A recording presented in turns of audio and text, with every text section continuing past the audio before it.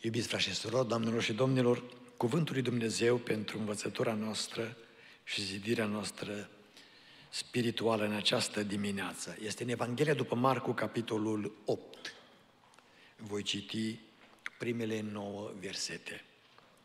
Evanghelia după Marcu, capitolul 8, primele nouă versete, unde cuvântul Domnului spune în felul următor. În zilele acelea, fiindcă se strânsese din nou mult norod și n-avea ce mânca, Iisus a chemat pe ucenicii săi și le-a zis, Mie milă de norodul acesta, căci iată că de trei zile stau lângă mine și n-au ce mânca. Dacă le voi da drumul la casă flămânzi, au să leșine pe, de foame pe drum, fiindcă unii din ei au venit de departe. Ucenicii i-au răspuns, cum ar putea cineva să sature cu pâine pe oamenii aceștia aici într-un loc pustiu? Câte pâine aveți? I-a întrebat Isus. Șapte, i-au zis ei. Atunci a poruncit norodului să șadă pe pământ, a luat cele șapte pâini și după ce a mulțumit lui Dumnezeu, le-a frânt și le-a dat ucenicilor săi ca să le împartă și ei le-au împărțit norodului. Mai aveau și câțiva peștișori. Și Iisus, după ce i-a binecuvântat, a poruncit să-i împartă și pe aceea. Au mâncat și s-au săturat și au ridicat șapte coșnițe pline cu rămășițele de fărâmituri. Erau aproape patru mii de înși. În urmă, Iisus le-a dat drumul. Amin. În uh, bisericile lui Dumnezeu și pasajul acesta este bine cunoscut pentru că știm cu toții despre minunea aceasta și pe care traducătorii Sfintelor Scripturi, în cazul nostru Cornilescu, au denumit-o a doua înmulțire a pâinilor. Și într-adevăr este a doua oară când Iisus Hristos face această minune. În prima minune de înmulțire a pâinilor, găsiți în Marcu 6 cu 32 la 44, Iisus a hrănit 5.000 de bărbați cu cinci pâini și doi pești. În această a doua minune, cu șapte pâini și, din nou, o mică paranteză, uh, la acest subiect, pâinile de care vorbim, să nu credeți că sunt franzele, nici pâini de 2-3 kg cum erau în România. Sunt pâinile din Orientul Mijlociu, adică o plăcintă. Pentru că pâinile în Orientul Mijlociu sunt mici, rotunde, sunt așa cum făceam noi la țară, plăcintă. Uh, deci astea sunt pâinile. Ca să ne dăm seama cât de mare minunea Domnului, pentru că această cantitate de pâine este mică, mică. Să satisfaci nevoia de hrană la 4.000 de bărbați, după obiceiul oriental se numărau bărbații, dar aceștia aveau și soții cu ei și copii. Imaginați-vă că mulțimea este mare, probabil undeva la 7-8 mii de oameni, iar în prima înmulțire, când 5 mii de bărbați au fost uh, hrăniți, uh, vorbim undeva de 10 mii de oameni care au mâncat acolo în pustie din binecuvântarea Domnului Isus Hristos. Ceea ce trebuie văzut la prima vedere, înainte de a intra în subiectul nostru propriu-zis, este abilitatea extraordinară a Mântuitorului Iisus Hristos de a predica. Faptul că se adună atâtea mulțimi să-L asculte, însemnează că Iisus am ca avut ce să le spună, nu? A avut ce să le spună și vorbea cu o putere deosebită, cu o însoțire deosebită. Deci mulțimile se adună pentru că au ce se audă.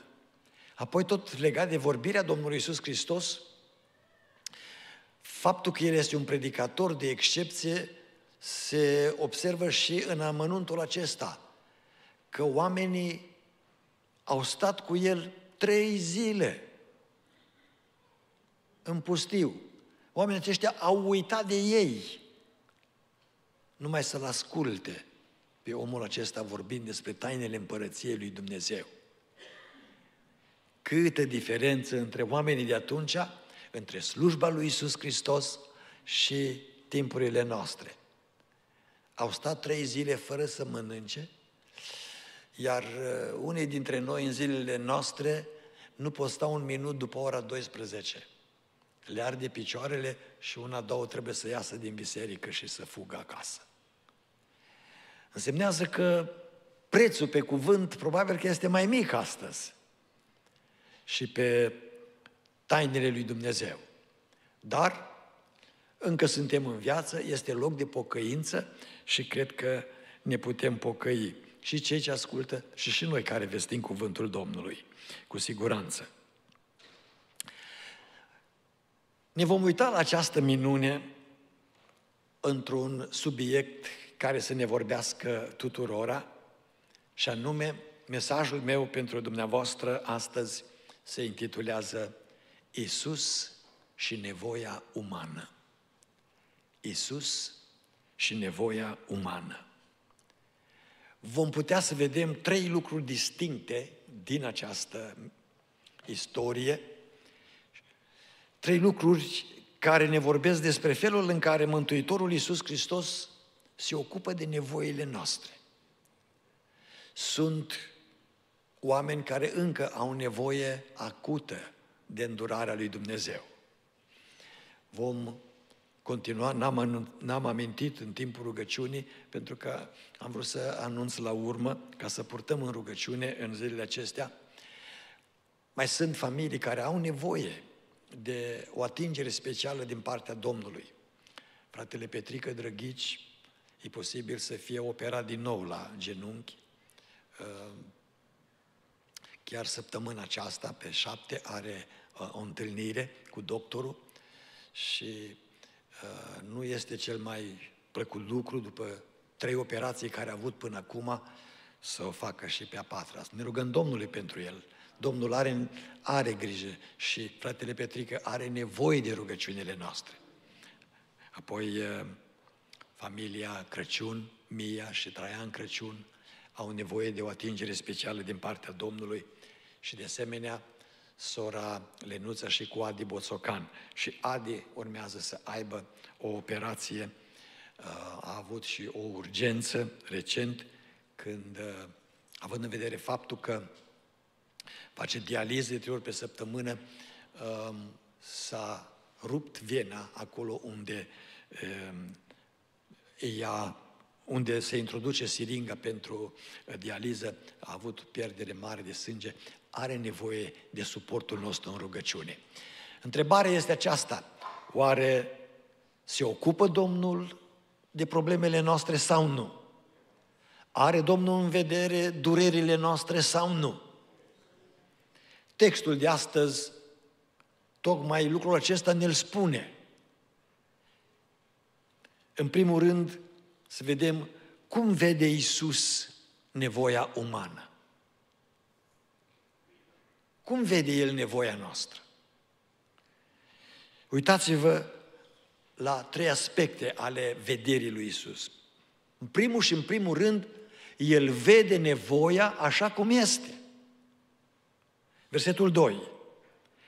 Mi-e milă de norodul acesta, Căci iată că de trei zile stau lângă mine și n-au ce mânca. Frați și surori, doamnelor și domnilor, cine are inițiativă pentru nevoia lor? Ucenicii? Străinii? Nu. Isus Hristos. El este cel ce evaluează. El este cel ce vede durerea ta, nevoia ta, criza ta, durerea mea, nevoia mea, neputința. Mie milă de norodul acesta. Este flămând. De trei zile n-a mâncat. Dacă îi dau drumul să plece acasă, mulți dintre ei vor leșina pe drum. Sunt în pustiu, în căldură. Nu este nici apă. Nu sunt condițiile civilizate de astăzi ca să ai sticla cu apă cu tine tot timpul. Nu. Iisus vede nevoia. El vede că sunt flămânzi, el vede că sunt în pustiu, el vede că sunt fără resurse, el vede că sunt mulți și vede că unii au venit de departe. Și de asemenea vede că satele, cetățile, cum se numeau atunci, orășelele, erau la distanță de locul unde se afla el ca să poată să meargă și să se aprovizioneze cu ceva. Partea bună este că erau cu Isus Hristos. Asta este cea mai frumoasă parte. Oriunde te-ai găsi, în orice pustiu ai fi și în orice nevoie ai fi, dacă ești cu Isus Hristos, deja ești bine. Deja ești binecuvântat. Pentru că ești în atenția Lui, mărit să fie Domnul. Grija Lui este o grijă pe care numai El știe să o poarte. Deci, primul lucru, El vede nevoia ta. Apoi, în această vedere a lui Isus Hristos, Isus ne iubește cu compasiune. Din nou versetul 2. Mi-e milă de norodul acesta. Asta înseamnă că Isus Hristos pune inimă. Că știți, de multe ori la noi vin oameni și ne spun, frate, uitați, n-am ce să mănânc, de o săptămână nu mai știu de noi, nu mai știu. Și răspunsul multor este, n-am ce să vă fac. N-am ce să vă fac. Da, puterile noastre sunt limitate și uneori nu poți să ajuți, este drept. Ești și tu în nevoie. Dar nu este nevoie în care Iisus Hristos să nu poată să ajute. Și mai ales, El nu ajută, nu hai să te simți și tu bine. El ajută cu compasiune. Mie milă din orodul acesta. Aș vrea să înțelegi în dimineața aceasta și dumneavoastră cei de la internet pe care v-am amintit și care mai sunteți acolo lui Isus Hristos este milă de condiția în care vă găsiți, de operația care trebuie să o faceți, de intervenția pe care trebuie să, să o aveți. Și mila lui însemnează acțiune. Nu numai că este milă, el și intervine. Pentru că Isus vede și remarcă timpul nostru cu El, trei zile, condiția noastră, flămânzi, sărăcia noastră, n-au ce mânca. Neajutorarea noastră au să leșine pe drum. Și de aceea inițiativa de ajutorare este a lui. Noi știți cum arătăm în realitate? Arătăm ca fiul risipitor din istoria Mântuitorului Iisus Hristos. A ajuns în țara unde nu este nimic unde este foamete și unde ar fi vrut să mănânce din mâncarea porcilor, acolo unde slujea la fermă, și nici aceea nu o primea. Nici aceea nu o căpăta. Dar partea bună pentru acest fiu risipitor a fost că avea un tată bogat și un tată care îl iubea. Dacă vă uitați în versetul 20 din Luca, 5, eh, din Luca, eh, Luca 15 spune Însă tatăl său l-a văzut și i s-a făcut ce? Milă de el. Milă de el. Așa te vede Iisus. Cu milă. Sunt oameni care, și o să vedeți eh, pe parcursul expunerii mele, sunt oameni care spun eu n-am nevoie de milă mie să nu mi-arate milă și să-mi facă bine de milă. Hmm. Ce bine este că lui Isus este milă de noi. Eu mă bucur că lui Isus i-a fost milă de mine și este milă de mine. Nu mă simt umilit prin aceasta. mă simt privilegiat. Pentru că dacă n-ar fi mila Lui ca să ne ierte, dacă n-ar fi mila Lui să simtă pentru noi și dacă n-ar fi mila Lui să întindă mâna și să ne binecuvinteze, ce s-ar alege de noi? Am pieri în necazul nostru, în neputința noastră.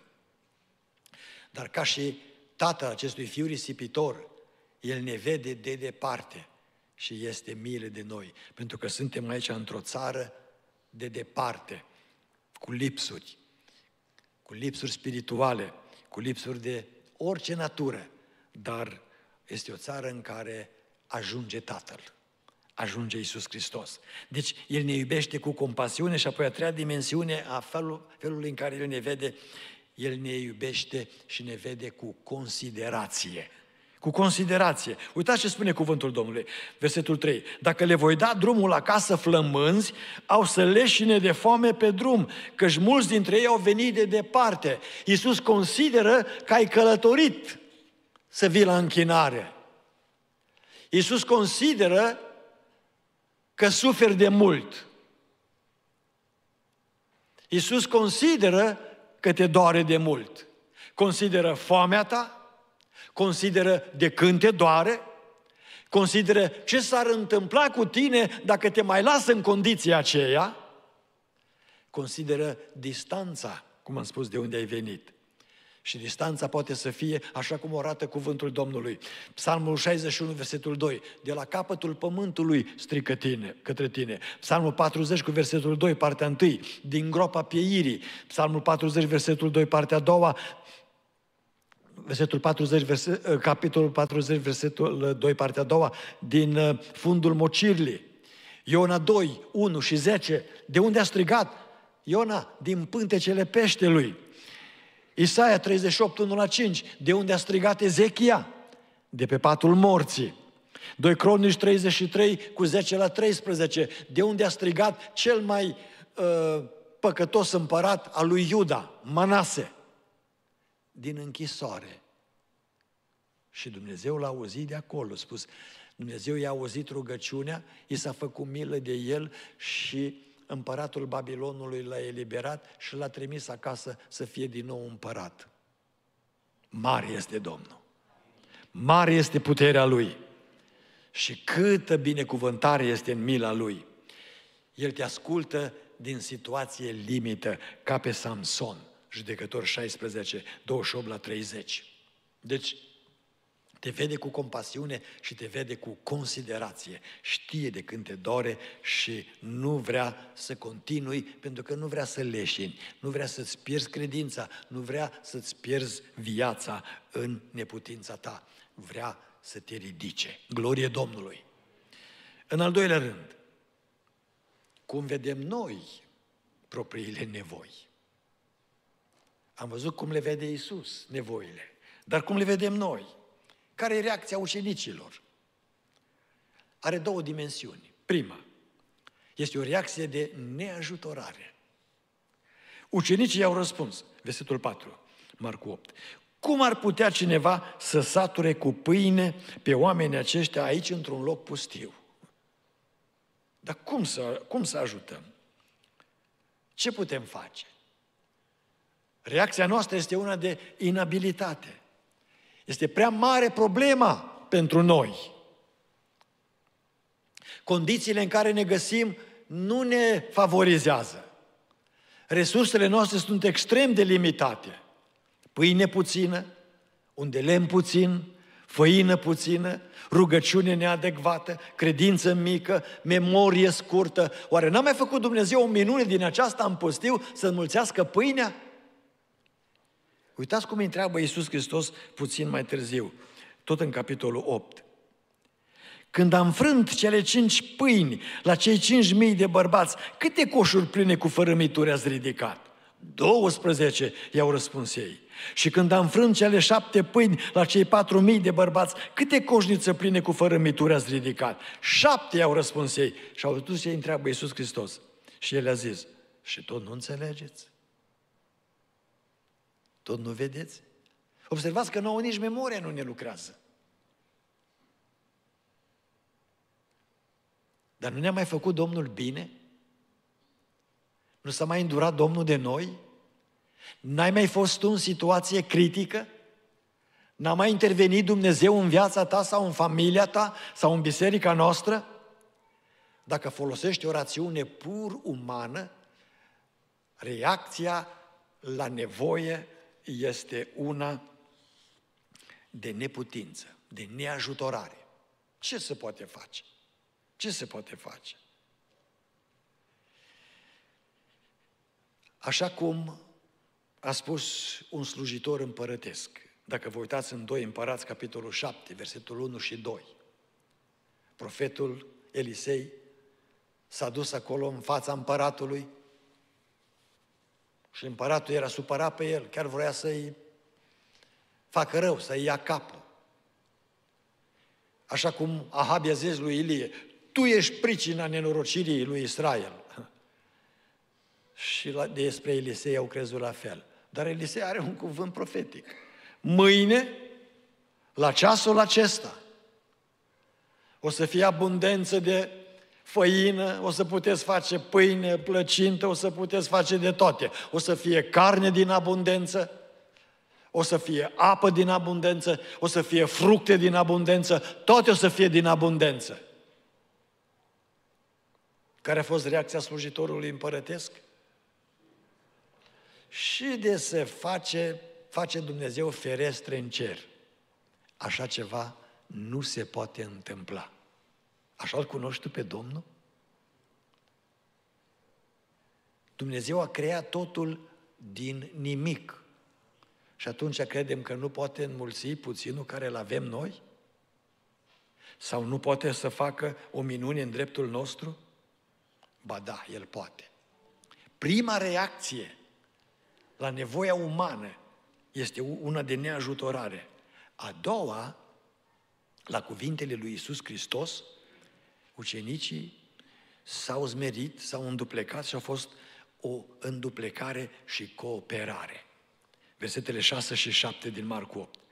Atunci a poruncit norodului să șadă pe pământ. Și sigur, Iisus a poruncit apostolilor și apostolii s-au dus la norod. A luat cele șapte pâini și după ce a mulțumit lui Dumnezeu, le-a frâns și le-a dat ucenicilor săi ca să le împartă. Și el le-a împărțit norodului. Mai aveau și câțiva peștișori și Iisus, după ce a binecuvântat, a poruncit să-i împartă și pe aceștia.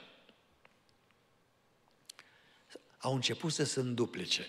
Asta ce însemnează? Că la fel trebuie să facem și noi în crizele noastre. Dacă Iisus a rugat, începe și tu și te rogă.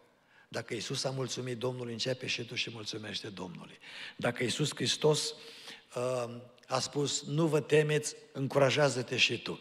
Trebuie să te îndupleci la cuvântul lui Dumnezeu, pentru că numai în felul acesta, numai în felul acesta Dumnezeu face minuni pentru tine, face minuni pentru mine. Și apoi, în al treilea rând și în ultimul rând, cum rezolvă Isus nevoia umană? Să vedem din nou trei dimensiuni ale acestei rezolvări. Primul lucru pe care trebuie să-l vedem este cuvântul din minune. Versetul 6.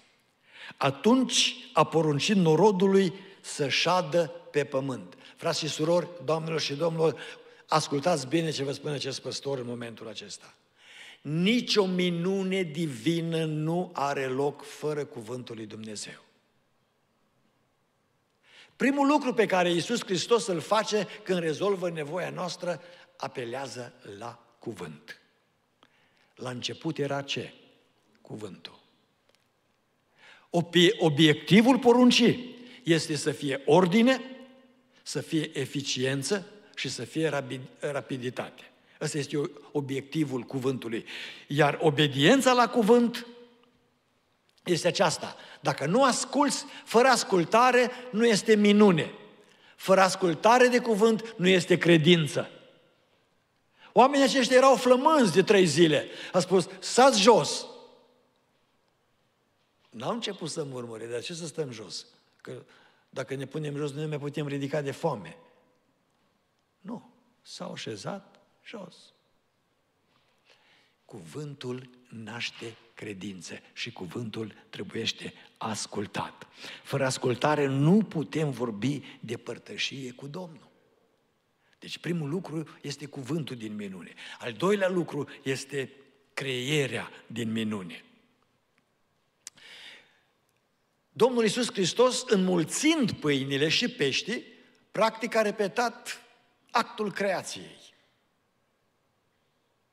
A repetat actul creației. Și cum se întâmplă lucrul acesta? V-am spus că o să revin asupra unui aspect la care vă rog, o să vă rog să dați multă atenție, pentru că este aspectul care ajută să vezi minunea, mă ajută să văd minunea. Dacă nu ținem cont de aspectul acesta, nu poți să vezi minune. Primul aspect în creare este că i-au predat lui Isus puținul pe care l-au avut. Versetul 6, partea a doua. Câte pâini aveți? Câte turte din acestea? Câte? Șapte. Dați-mi-le mie. Niciodată Dumnezeu nu începe minunea până când nu este adus la el. Ilie a întrebat pe văduva, lui Ilie a spus văduva din Sarepta Sidonului, că dacă tu îmi cer să-ți fac ție o turtă, îți spun eu ce am. Un pumn de făină și câțiva strop de un de lemn. Am făcut o plăcintă și apoi și eu și cu fiul meu așteptăm să murim. Dar Ilie ce a zis? Mie întâi, ce crud. Ce neconsiderant. Te duci la om în casă, la o văduvă săracă și amărâtă și spui, mie întâi. Dar da, e explicat. Fă mie întâi. Căci așa vorbește cine? Domnul. Câtă vreme mai ține foametea, făina ta nu se termină, unde lemnul tău nu se termină și în casa ta este hrană. Dar mie întâi. Întâi este cuvântul. Predă în mâna Domnului puținul care îl ai. Al doilea aspect este rugăciunea lui Isus. Este putere în rugăciunea lui Isus. Și este putere și în rugăciunea noastră. Dacă ne rugăm cu credință, cum spuneam mai înainte, toate lucrurile sunt cu putință celui ce crede. Toate. Și apoi este elementul al treilea în actul creației, care este aplicat practic cel mai neplăcut. Iisus a luat pâinea, s-a rugat și după aceea ce a făcut cu ea? Ce a făcut cu ea? A frânt-o. Frați și surori, doamnelor și domnilor, până când Domnul nu frânge mândria ta, până nu frânge aroganța noastră, până nu frânge pretențiile noastre, până nu frânge voința noastră, până nu frânge ambițiile noastre, până nu frânge încăpățânarea noastră, mulțumesc, și până nu frânge conceptele noastre despre Dumnezeu, până atunci nu se întâmplă minune.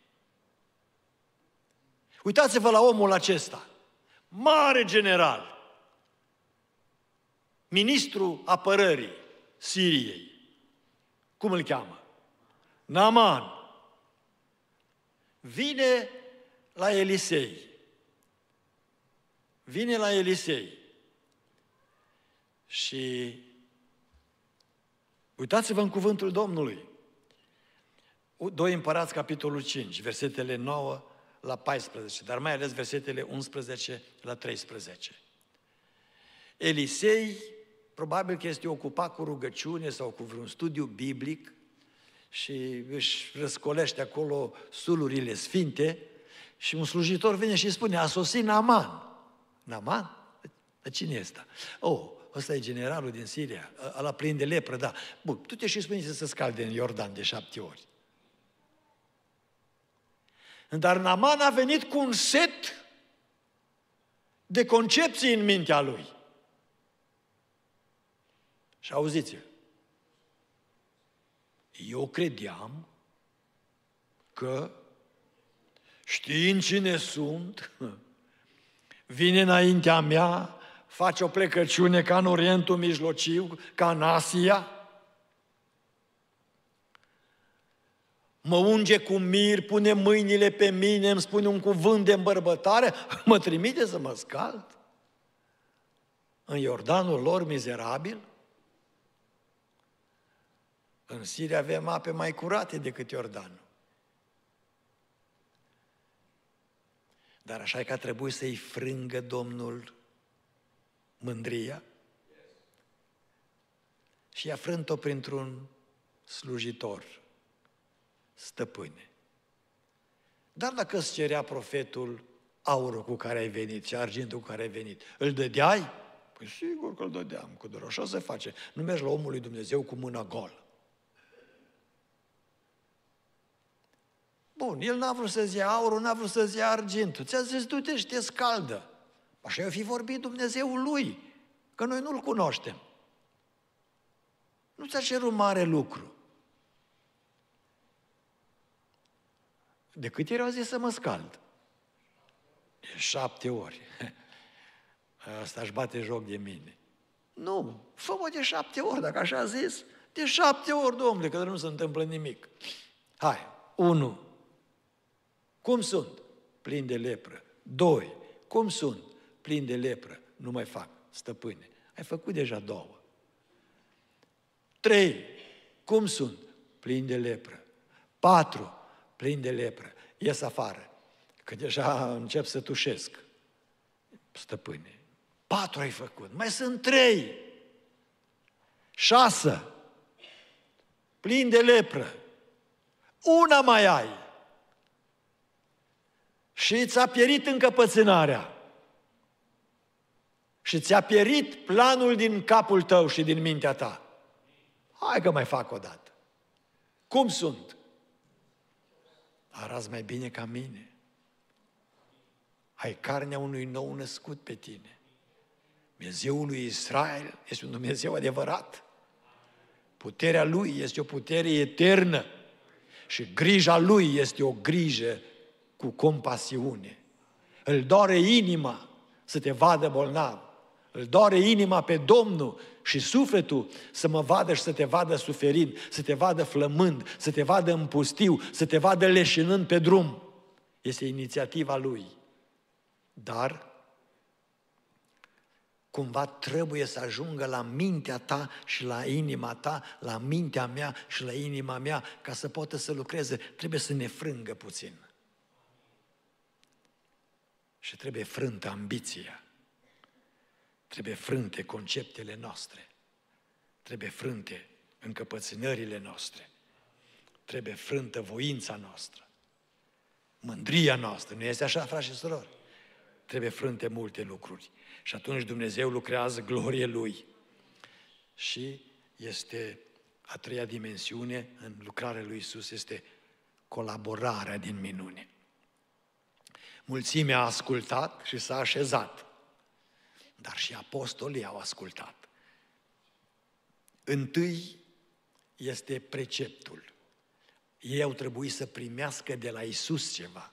Că până nu-ți dă Isus Hristos, degeaba te duci, că nu poți face nimic.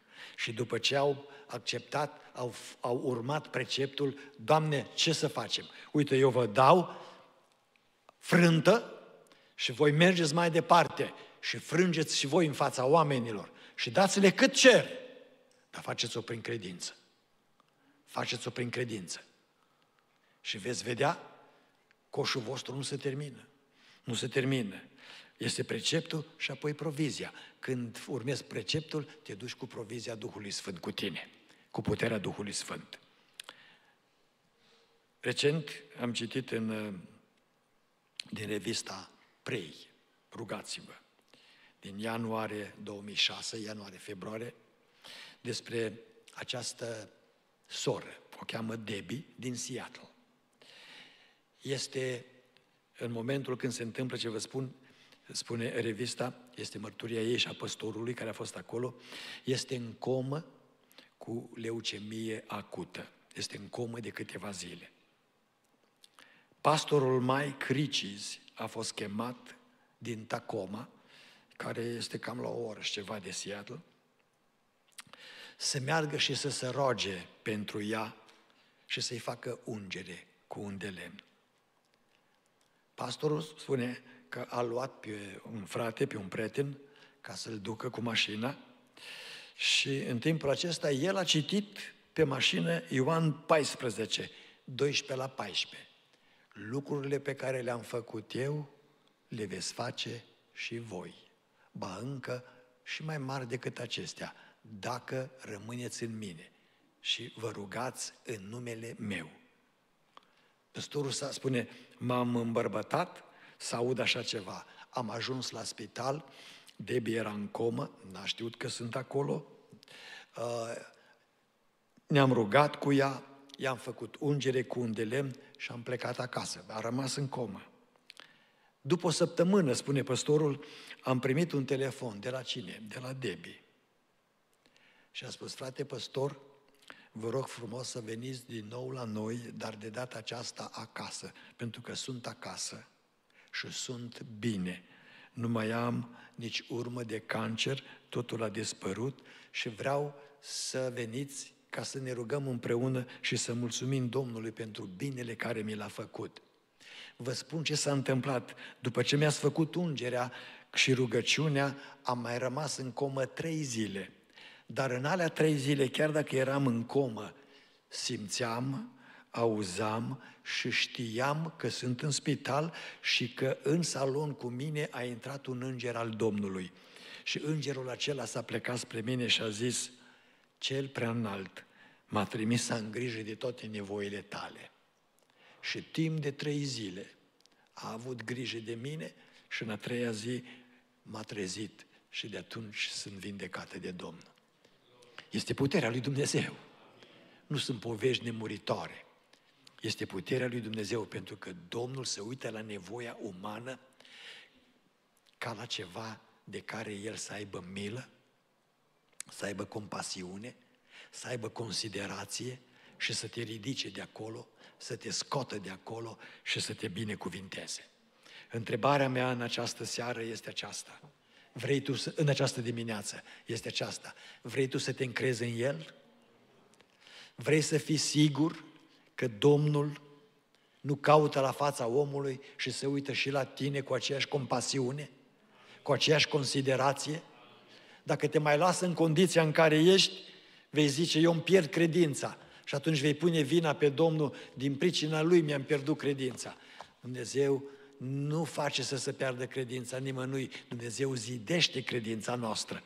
De aceea, în această dimineață, în concluzie, pentru că este timp și pentru că după masă nu ne întâlnim în seara aceasta, vă rog să nu vă uitați la ceas uh, dacă trece de un minut peste 12, pentru că uh, am să rog pe ușieri să le colecteze la ușă dacă vă uitați la ele.